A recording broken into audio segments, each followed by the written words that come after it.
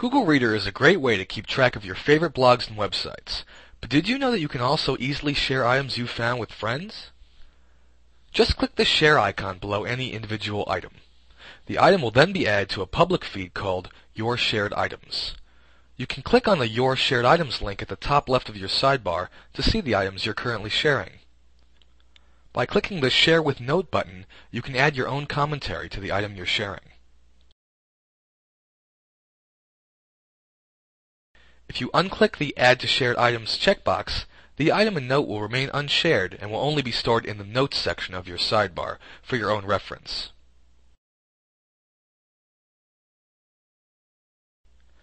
To unshare any item, just visit your shared items and click Unshare under any of the items in the feed. You can also choose to email items to your friends by clicking the email icon and filling out the to, subject, and message fields.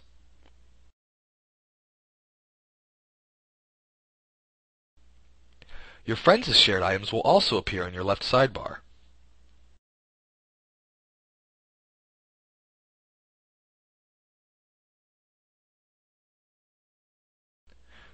To determine who is able to see your shared items and whose shared items you'd like to see, just click Sharing Settings in your left sidebar. From here you'll be able to manage your contacts by adding or removing friends.